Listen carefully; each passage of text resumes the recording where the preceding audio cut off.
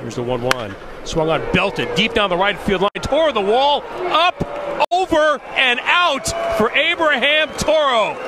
What a greeting for Triston McKenzie as Toro connects on his second Oakland home run and early.